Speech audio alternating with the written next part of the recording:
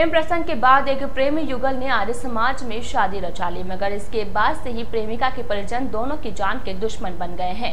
प्रेमी युगल ने अपनी शादी की सूचना परिजनों को तो दी, लेकिन लड़की के परिजनों ने लड़के को जान से मारने की धमकी दे डाली।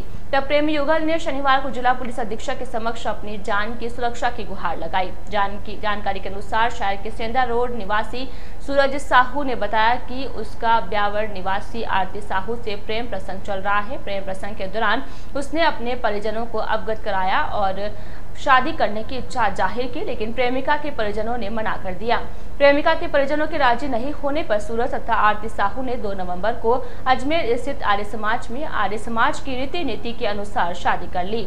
सूरज ने बताया कि शादी करने की जानकारी मिलते ही आरती के परिवार वाले उसके तथा उसके परिवार वालों के दुश्मन बन गए। शनिवार को प्रेमी युगल ने अजमेर एसपी के समक्ष पेश होकर जान माल की सुरक्षा की गुहार लगाई है। साहब से प्यार करता था और इससे शादी कर ली हमने दो तारीख को अजमेर आके। हमारे दोनों को खतरा है हमारी फैमिली को खतरा है। उन्होंने हमें जान मान से मारने की धमकी दी है। हम साल भर से हो गए हम दूसरे को जानते हैं। पास में रहते हैं हाँ एक ही गली में रहते थे हम।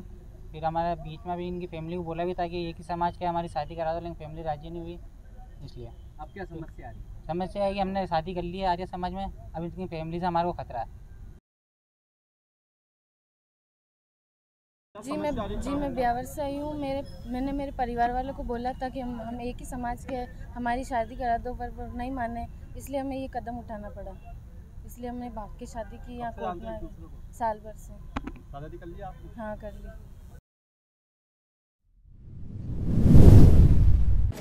मेरा अज भी तू मेरा कल भी तू हर मुश्किल का हल भी तू। गुरु नानक जयंती के शुभ अवसर पर PPS paradise garden, Ajmer road, व PPS hotel, Udaipur road, Beawar के भूपेंद्र पाल सिंह व हरजीत सिंह सलूजा और मनी भाई की ओर से आप सभी को गुरु नानक जयंती की हार्दिक शुभकामना व बधाई।